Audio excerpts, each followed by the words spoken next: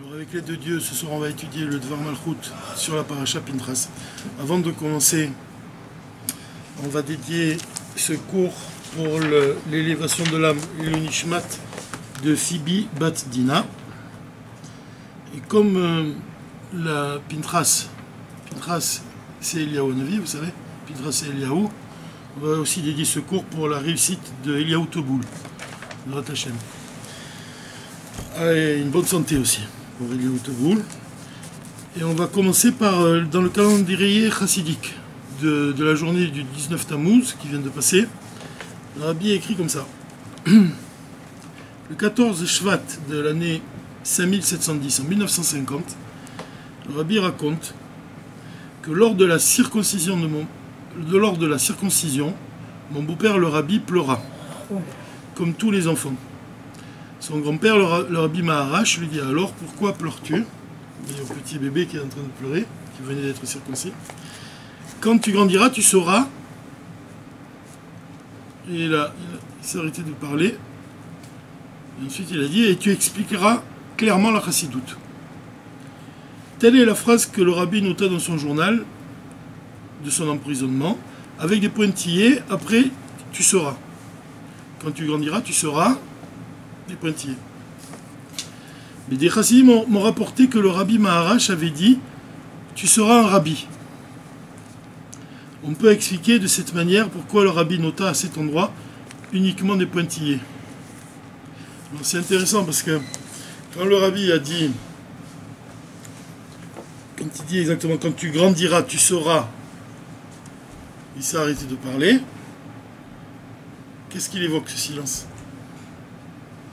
Pourquoi il s'est arrêté de parler? Il s'est arrêté de parler parce que l'essence, elle n'a pas de nom. C'est-à-dire que chaque chose de ce monde, elle a un nom, possède un nom. Mais quand on parle de l'essence divine, elle n'a pas de nom, l'essence divine. C'est au-delà des noms. Quand tu parles de l'essence de l'âme, elle n'a pas de nom. Quand tu parles de Yechida, c'est déjà un, niveau qui est inférieur à l'essence de l'âme. Pourquoi? Parce que c'est un nom. Et l'essence divine, elle n'a pas de nom. Alors c'est intéressant parce que quand il a vu le, le, le, bébé, il lui a dit Pourquoi tu pleures? Il lui a dit Quand tu seras grand, tu seras. En fait, tu seras lié à l'essence. Que les, les, chassidim, ils ont dit qu'il avait dit Tu seras un rabbi. Mais c'est un peu la même chose. Mais on pourrait même dire que c'est encore plus quand le fait de rien dire. C'est encore plus que le fait de dire Tu seras un rabbi.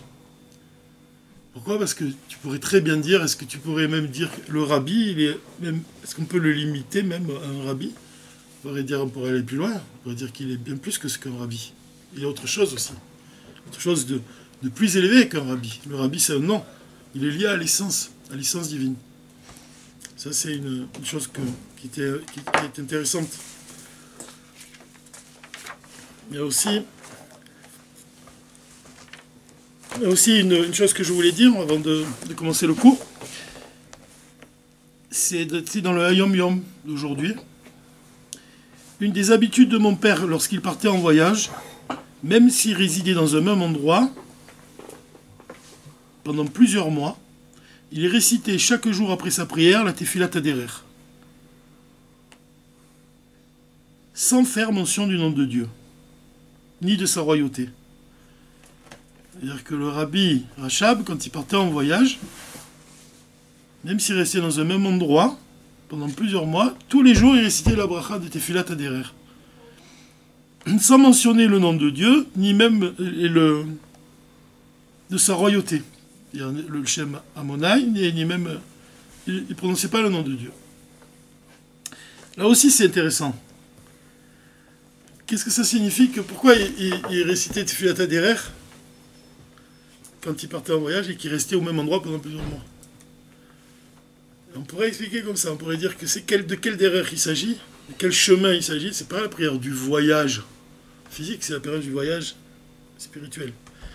C'est-à-dire le, le Rabbi Rachel, c'était quelqu'un qui méditait beaucoup et qui, qui pensait ses, discours chassidiques de manière profonde, et puis on pourrait imaginer, on pourrait supposer, hein, c'est un langage commun, des rechefchar, comme ça, de dire que, que qu'il avait cette kavana de, de, demander à Dieu, de prier Dieu, de le guider dans, le voyage de, ses pensées. Et, sans mentionner le nom de Dieu, ça, signifie quoi? C'est ce qu'on a dit juste avant dans l'histoire précédente. pourquoi? Parce que quand tu mentionnes pas le nom de Dieu, même les noms de Dieu sont, sont moins que l'essence de Dieu. L'essence de Dieu n'a pas de nom. Alors au même de ces deux enseignements, tu pourrais les lier entre eux et dire qu'il priait Dieu de, de, guider ses pensées et de, manière à ce qu'il atteigne l'essence divine.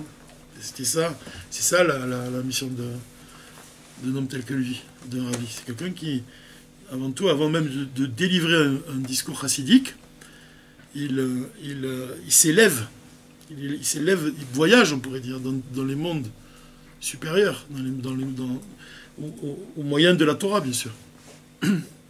Alors, le, le, le Malchut de, cette semaine, donc de la paracha Pinchas, il y a deux histoires. Il y a deux petites histoires que le rabbi va, il va, il va raconter pour expliquer le, le, fond, un, des, l'aspect profond de cette paracha. La première histoire que le rabbi il rapporte, c'est une histoire avec le Tzemar Tzedek. Un jour, un chassid est rentré dans le bureau de, du Tzemar. Il lui a demandé une bracha parce qu'il voulait partir en Eretz Israël. Et à ce moment-là, le, le Tzemar lui a répondu, il a dit, pourquoi tu veux partir en Eretz Israël? Fais ici Eretz Israël. Tu n'as qu'à faire ici où tu te trouves, tu fais Eretz Israël. Ça, c'est la première histoire.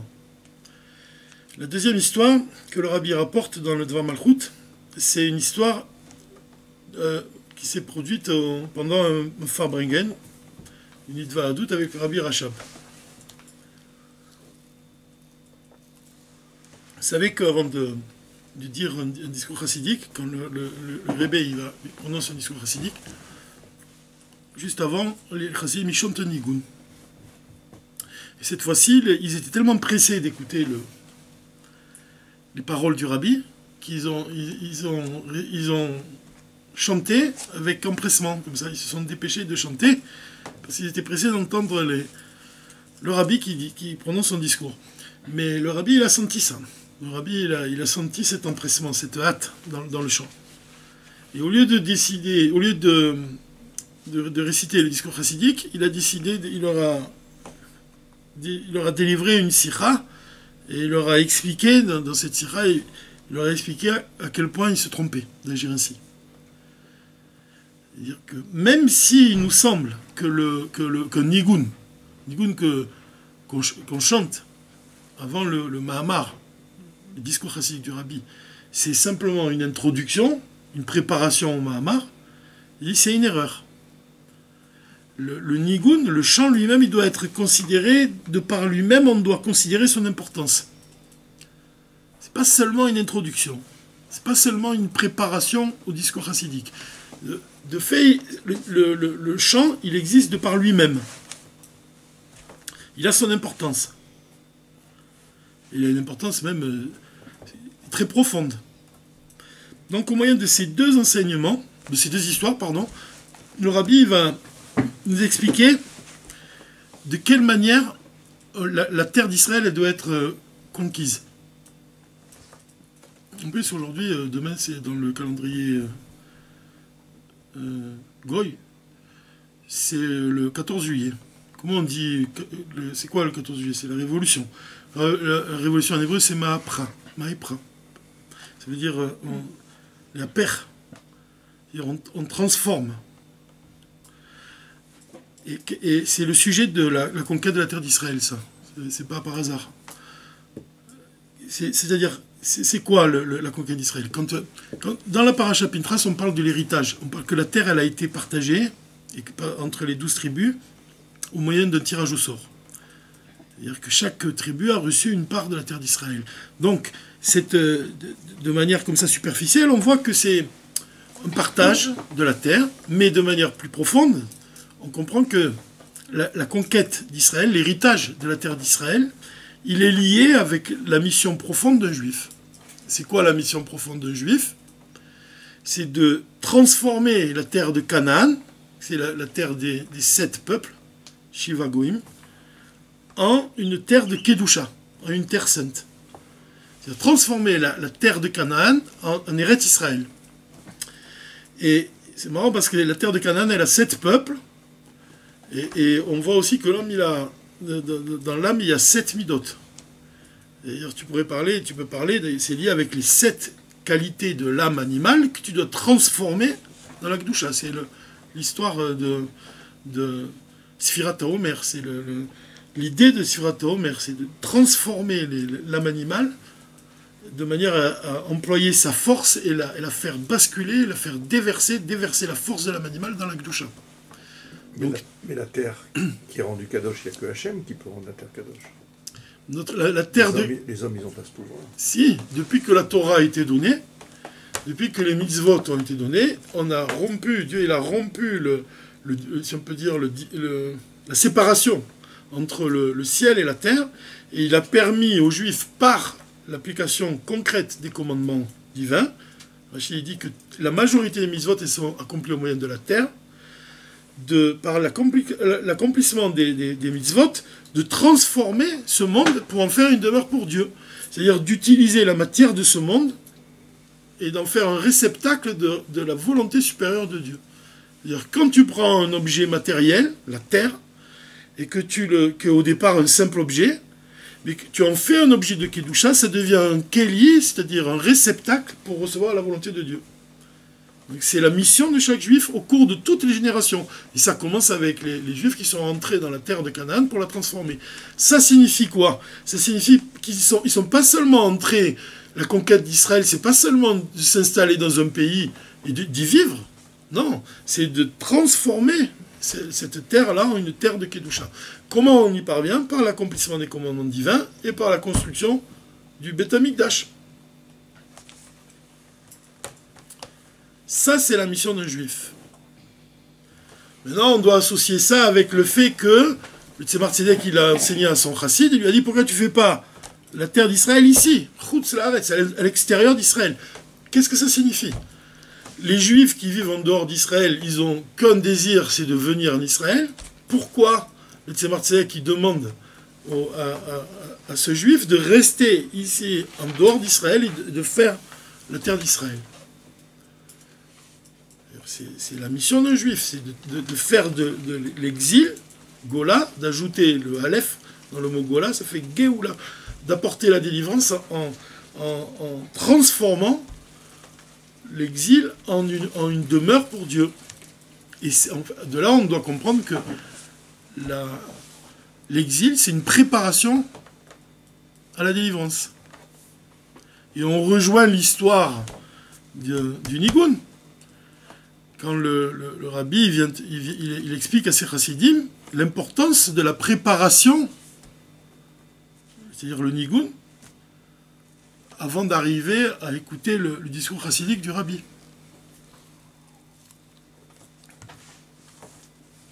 La préparation, elle est aussi importante que le, que le Mahamar lui-même. Peut-être pas aussi importante, mais elle fait partie d'un tout. Elle ne doit pas être négligée. Comme il dit Rachid dans le Parachat Ekev, au tout début de la Parachat Ekev, il, dit que, l'homme a, a, tendance à, fouler les, mitzvot avec le talon. Ekev, le talon. C'est-à-dire qu'on a l'impression qu'il y a des, mitzvot qui nous semblent de moindre importance et on les foule avec le talon, on les néglige. Mais là, on parle pas seulement, parle pas seulement des mitzvot, on parle de chaque détail, de chaque action. C'est-à-dire qu'un nigoun, pendant le... Imaginez la scène, imaginez savez que quand le Rabbi Rachab disait un discours chassidique, il y avait seulement son fils, on dit, j'ai entendu, que, son fils se tenait devant lui, debout, et il, regardait son père. Et quelqu'un, une fois, il s'est tourné, le Rabbi Rachab, il a regardé un, un, chassid qui était dans l'assemblée, et le chassid s'est évanoui, il est tombé. Il, tombé. il ne pouvait pas supporter le, regard du, du rabbi. Seulement son fils pouvez, le, pouvez supporter ce regard-là. La Kedusha. C'était un réceptacle capable de recevoir un tel dévoilement. Et là, le Rabbi Rachab, il va très loin. Il vient nous dire le, le nigou dans lui-même, il doit être pleinement vécu. Ça veut dire que, la, quelle que soit la situation qu'on vit, on doit être dans, cette situation. quand les, les, les Chassidim, ils ont chanté le Nigoun, ils n'étaient pas, ils étaient pas là. Ils étaient euh, dans le discours chassidique, ils attendaient le discours chassidique, ils n'étaient pas là vraiment. Et le Rabbi Racha vient leur dire non, vous devez être là. Vous devez être là, même à ce, qui vous semble être une simple prépa- préparation, vous devez être là quand même. Vous devez être présent. C'est un des enseignements de la paracha Pintras. En quoi c'est lié avec la paracha Pintras?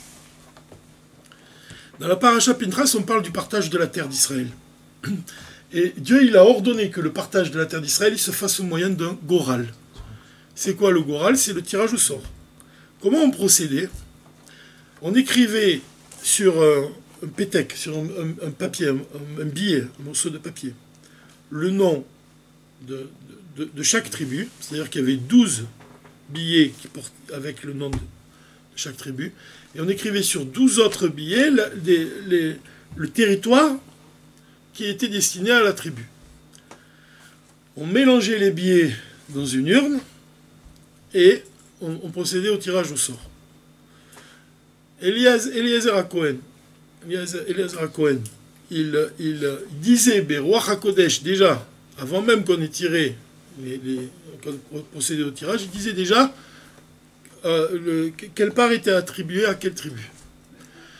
Le prince de chaque tribu venait, prenait deux billets. Sur un des billets, il y avait le nom de, de sa tribu, et sur l'autre billet, il y avait le territoire qui lui était destiné.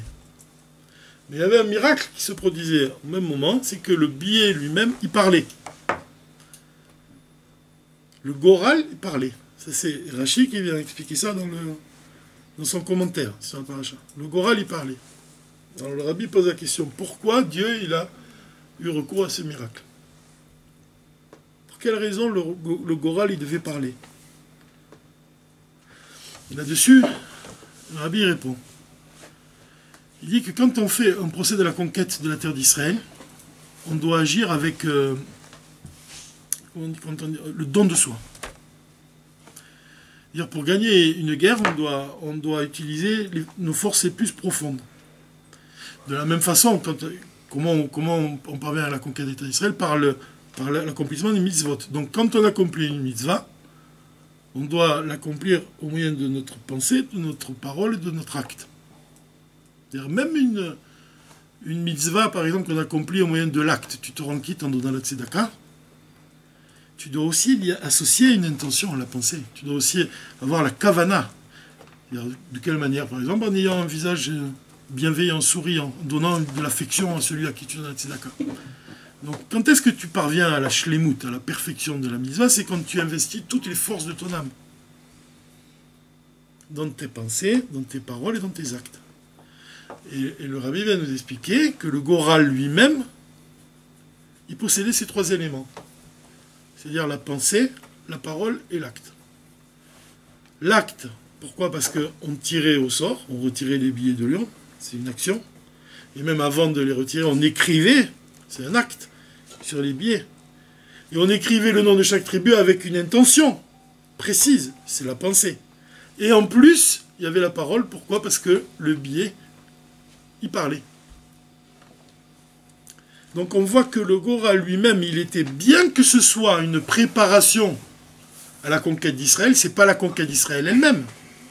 C'est qu'une préparation à la conquête d'Israël. Malgré tout, c'est une préparation qui est accomplie dans la perfection de la parole, de la pensée et de l'acte. C'est ça l'enseignement essentiel que vient, que nous donner le rabbi ici. Quand on parle de la conquête de la, terre, doit aussi comprendre évidemment que c'est la conquête de, nous-mêmes, encore une fois. La conquête de nous-mêmes au moyen de, nos pensées, de nos paroles, de nos actes. Et, et là, ce qui est important, c'est de comprendre que même ces, ces choses-là, chaque détail, finalement, chaque détail, il est important, il est essentiel. Il ne doit pas être négligé.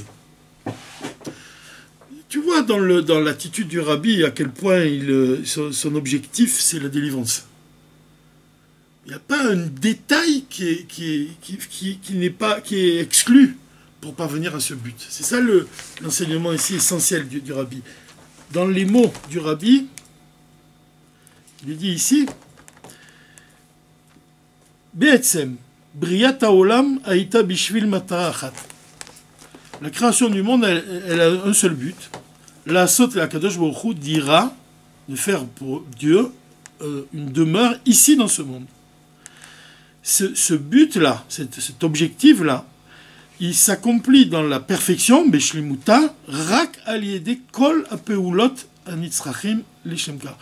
Quand est-ce qu'il s'accomplit dans la perfection? C'est seulement au moyen des actions qui, qui vont dans ce sens.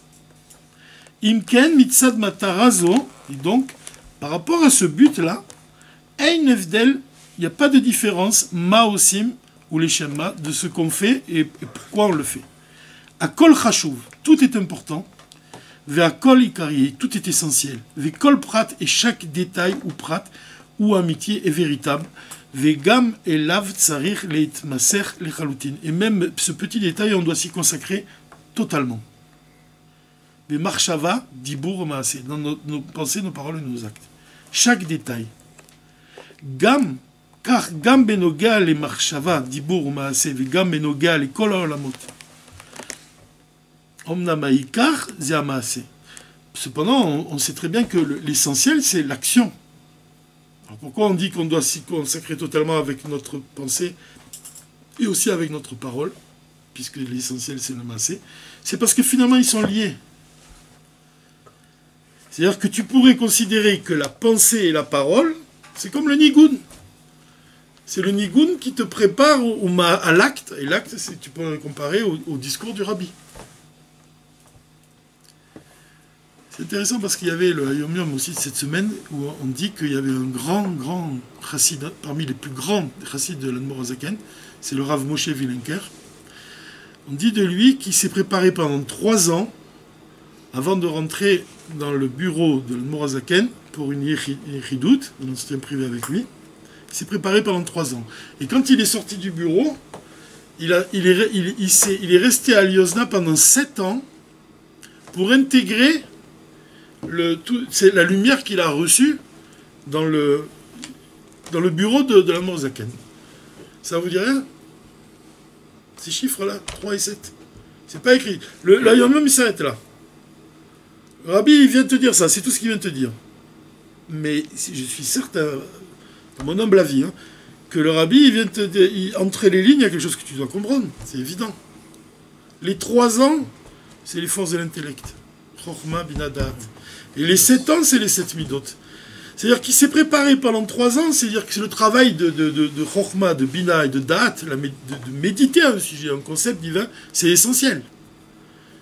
Dat, il va te faire ressentir la chose que tu as analysée, que tu as comprise, que tu as reçue d'abord. Mais ensuite, il a eu besoin, ce racine, de sept ans pour que ça, s'exprime dans ses actes qu'il a eu besoin de digérer, si on peut dire, cette lumière-là pour qu'elle pénètre en lui-même et elle se répande jusque dans ses talons. Maintenant, à quoi tu peux comparer l'entrevue avec Morazaken Tu peux la comparer, c'est la lumière de Keter, c'est la lumière, la, lumière qui est au-delà de l'enchaînement des mondes. C'est celle-là que le rabbi vient de donner à son chassid, au moyen de discours chassidique par exemple. Et c'est pas par hasard que dans le livre des mémoires, le Rabbi Rachab, il, vient de te dire qu'il y avait certains chassidim, ils répétaient d'abord le, discours, pour, bien, pour que les mots, d'abord, fassent leur cheminement au, plus profond d'eux-mêmes. Mais ensuite, il y a tout un travail de, faire descendre ces paroles dans les actes, dans nos actes. Le discours, par exemple, le discours de Vata Tetsavé, qu'on a étudié, Hachem ensemble, qu'on a essayé d'étudier. Dans ce discours-là, il y, a, beaucoup de choses à apprendre, il y a beaucoup de choses à comprendre d'abord. C'est Chabad, Chochma, Binadat. Mais ensuite, on doit être à l'image de du rabbi Moshe Vilenker, de faire en sorte que ces paroles du rabbi ne restent pas seulement dans notre, dans notre cœur. C'est ce qu'on dit dans la tfila. Quand on prie à Dieu, on prie Dieu, on lui demande Ten Beli, beli Benu Bina. Donne à notre cœur de comprendre. Quoi, le cœur, il comprend C'est pas le cerveau qui comprend mais le cœur, il doit aussi comprendre. Ça veut dire que tu dois comprendre que Tovli, que la chose, elle est bonne pour moi. C'est pas seulement le cerveau qui a compris. C'est que ton cœur, il ressent. C'est-à-dire que, que la chose est bonne pour toi. Et elle va que cette chose-là, elle va faire son chemin maintenant dans, dans ta vie, dans tes actes. Et que tu vas parvenir, quand tu reçois la lumière de, de Keter, que tu reçois cette lumière-là dans, les mots du rabbi, dans ses discours, dans ses enseignements. Et cette lumière-là, tu dois la garder, tu dois la, ça doit être ta proie.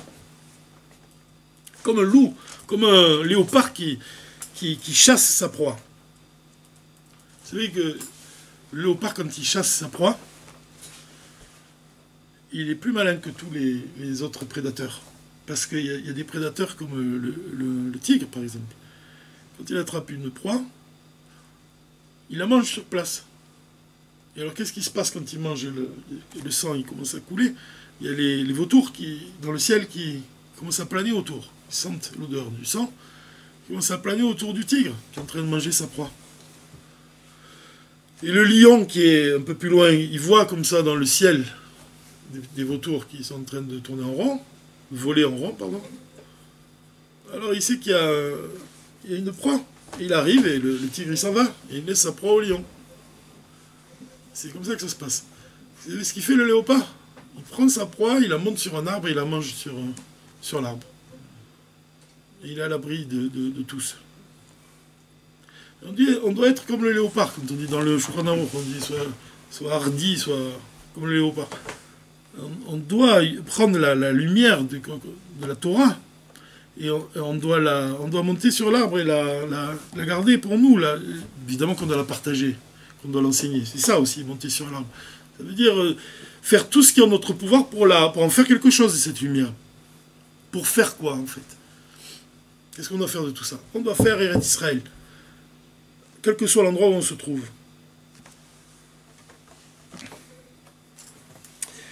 Quand on dit que doit, la perfection elle est atteinte quand on, s'investit dans nos pensées, dans nos paroles et dans nos actes. Et le rabbi il dit que c'est comme ça qu'on voit qu'un homme il est pnimi, il est profond. C'est quand il est plongé dans la chose, même dans un nigoun, même dans quelque chose qui, semble une préparation. En fait, il te dit que si tu si t'investis pas totalement dans la préparation, tu parviens pas euh, au Mahamar comme il faut. Comment tu peux retirer le plus la lumière du discours du, rabbi que tu vas entendre? C'est quand tu t'es préparé à ça, comme rabbi Moshe Velenka qui s'est préparé pendant trois ans avant de, rentrer dans le bureau du rabbi. Ça veut dire que quel que soit le, il y a toujours ce qui est tafel et ce qui est ikar. Le tafel, ça désigne ce qui est accessoire et le ikar, ce qui est essentiel même si tu, projettes une chose qui est icar, qui est essentielle, comment tu parviens à, l'obtenir de manière profonde? C'est quand tu t'attaches à ce qui est accessoire et que tu vas en profondeur dans ce qui est accessoire. Non, ce qui est essentiel. Quand tu t'attaches avec profondeur à ce qui est d'abord ce qui, est accessoire, qui est une préparation, alors tu parviens à recevoir ce qui est essentiel avec profondeur aussi. L'un va avec l'autre. Maintenant, notre rôle, notre mission, c'est de faire Eret Israël. Et là, le rabbi vient nous donner des enseignements qui sont intéressants. Un juif, il peut penser comme ça. Qu'est-ce qui se passerait si j'étais dans un autre endroit dans le monde? Il est là, il ne comprend pas qu'il doit agir là où il se trouve. Il se dit, qu'est-ce qui se passerait si j'étais autre part? Et ou bien, s'il était, même c'est vrai, ça, ça peut arriver aussi, si j'avais vécu à une autre époque. Un juif peut se demander ça si j'avais vécu une autre époque, si j'avais vécu à un autre endroit, alors peut-être que j'aurais mieux servi Dieu. On peut se demander des choses pareilles. Parce que je vis ici, mais si je vivais ailleurs, j'arriverais à mieux servir Dieu. Des fois, il peut avoir des doutes comme ça. Ou alors, il peut penser que dans tous les cas, je me trouve ici que dans un petit coin perdu du monde. Je, suis ici, là. Qu'est-ce que ça change? Qu'est-ce que ça change? La manière dont je me conduis. Quelle influence j'ai dans ce monde? Vais se sentir perdu. Je dis, j'habite ici, dans cet endroit. Mais qu'est-ce que ça change? Qu'est-ce que je peux faire ici, dans cet endroit? Qu'est-ce que je peux? Est-ce que de cet endroit où je me trouve, je peux illuminer le monde?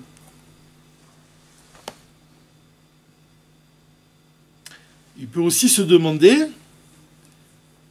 comment on peut, à moi, me demander, de, comment on peut penser que je peux faire quelque chose pour provoquer la délivrance, provoquer la Géoula? Qui je suis, moi, pour, amener la Géoula dans ce monde Alors là-dessus, le rabbi vient répondre. Le, le en l'occurrence dans l'histoire qu'on a racontée, le Tzemar il t'a ordonné de faire ici Eret Israël. Il voulait partir en Eretz Israël, il dit non, pourquoi? Fais-le ici. On n'habite pas en Israël, fais ici. Donc, le, le il t'ordonne de faire Israël où tu te trouves. Tu n'as pas besoin d'être intéressé à ce qui se passerait si tu étais à un autre endroit. Tu dois seulement t'inquiéter de l'endroit où tu te trouves. Tu dois faire ton travail ici où tu te trouves de la manière la plus parfaite qui soit. Et par ton travail à l'endroit où tu te trouves, dans la, partie de ce monde où tu te tiens, tu influences le monde entier. Pour quelle raison? Parce que chaque partie de ce monde, de chaque juif, elle, fait partie d'un tout. Elle fait partie du monde, de tout le, du monde entier. Et, le fait que toi, tu vas t'occuper de ta partie, à toi, c'est ça que tu vas éclairer le monde entier. Parce que cette partie-là, fait partie d'un tout. Dans cette réponse-là, c'est ça qui veut dire. C'est Martinez qui dit fais ici Eret Israël. C'est-à-dire de l'endroit où tu te trouves, même si cet endroit il te semble si minime. De la même façon, regardez le rapport avec le Nigun. Ah, tu as l'impression que c'est minime. Non, tu dois, même le Nigun, tu dois faire Eret Israël dans le Nigun.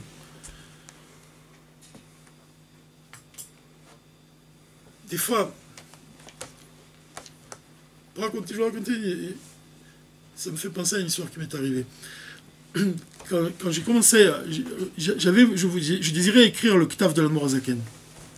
À l'époque, quand j'ai, quand j'ai voulu étudier l'écriture, le de la Morazaken, c'était pas quelque chose qui était euh, de, répandu. Il y avait très peu de, gens qui même qui pouvaient enseigner. Encore aujourd'hui, peut-être il y en a, peut-être plus, mais déjà à l'époque, il y avait, vraiment très peu de. Il y avait beaucoup de rabbinim qui, qui, disaient qu'il fallait pas et tout. Et, moi, malgré tout, je, cherchais par tous les moyens. Et, un jour, par euh, vraiment, bah, je me suis retrouvé à Tzfat.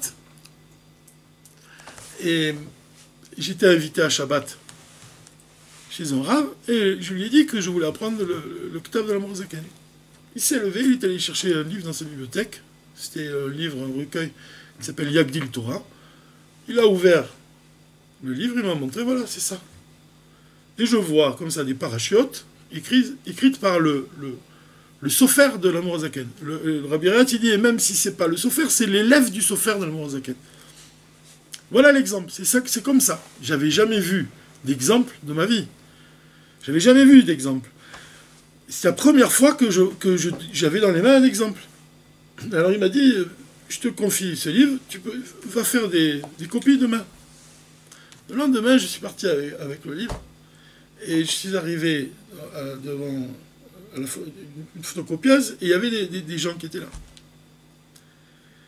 Et j'ai attendu comme il y avait des, des, jeunes femmes qui faisaient des photocopies, suis dit, j'ai attendu que les, jeunes femmes aient vraiment fini pour aller faire les photocopies du, du, KTAV.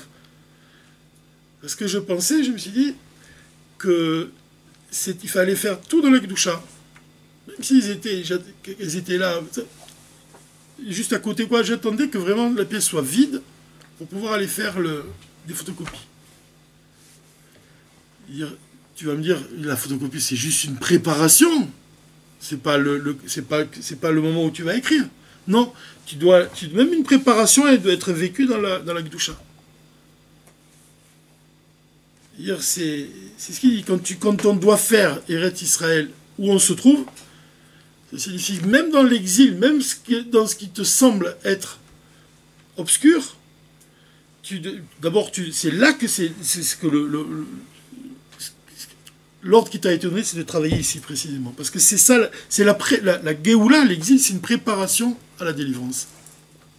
La galoute, pardon, c'est une préparation à, la délivrance. Donc on doit comprendre l'importance de, l'exil. On doit, c'est comme si une préparation, on doit s'y consacrer. On doit faire vraiment tout ce qui est en notre pouvoir pour agir sur l'exil, quel qu'il soit.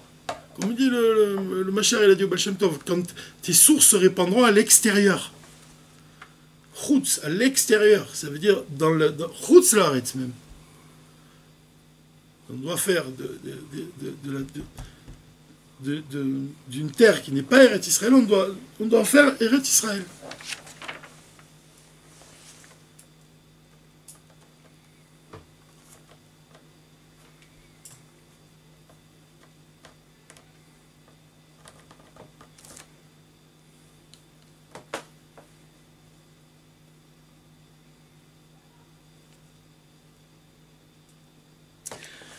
pour finir, on peut, on peut dire une chose. Le rabbi, il dit que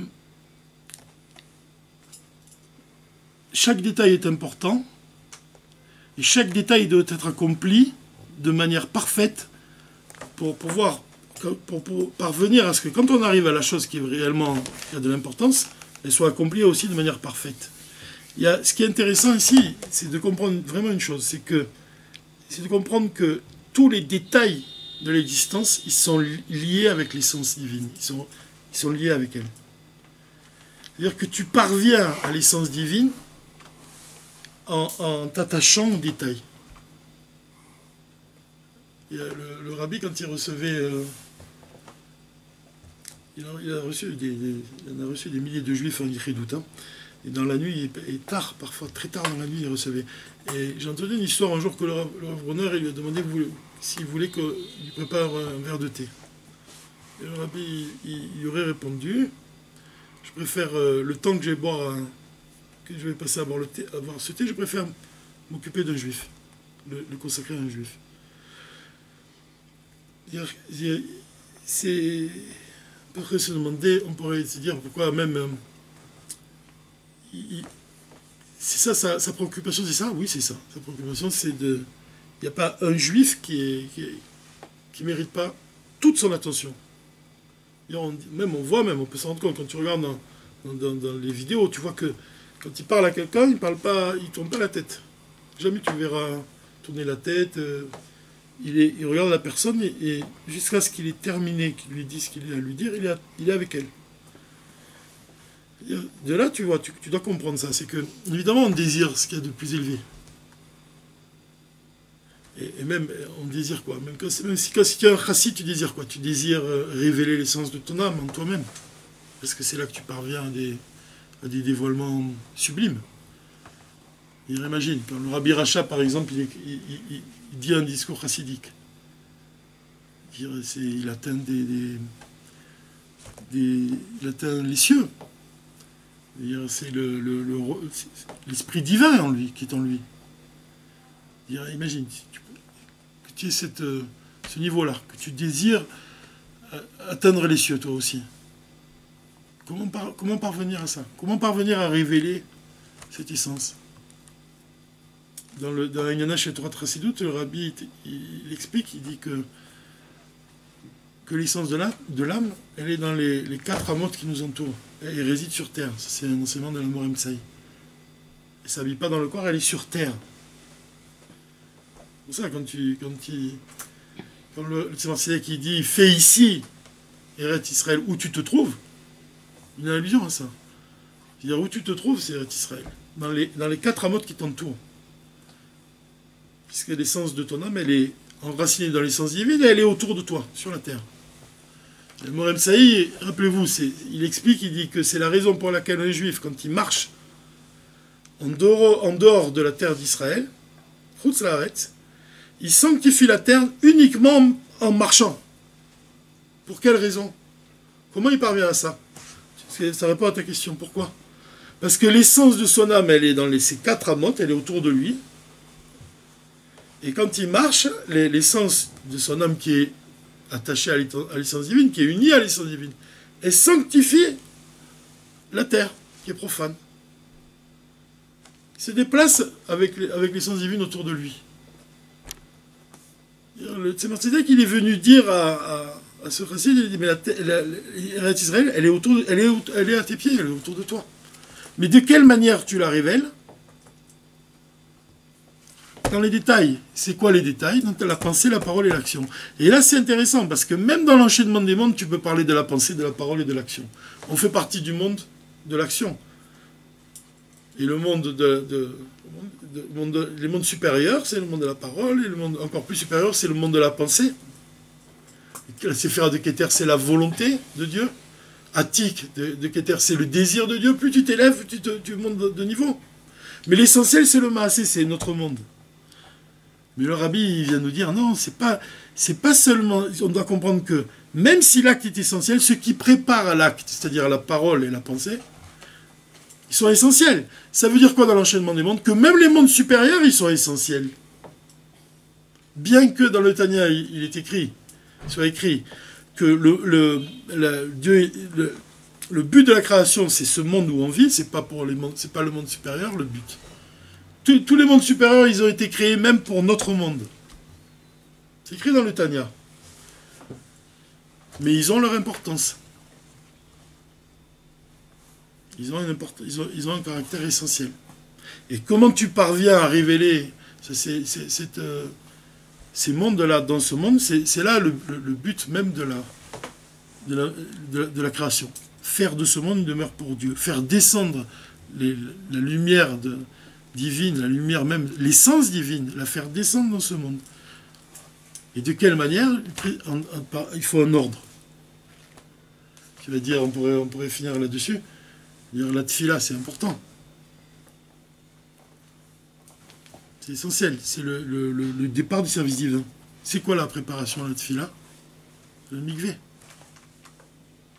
Combien y en a qui vont migrer tous les matins avant de prier?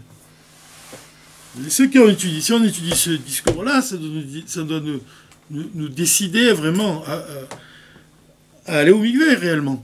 Ben, parce que sans, cette préparation, sans attacher toutes nos pensées, nos paroles et nos actes dans, le fait d'aller au migvé même, tu ne peux pas arriver à la prière avec... Euh, et, l'élever comme il convient vraiment, réellement.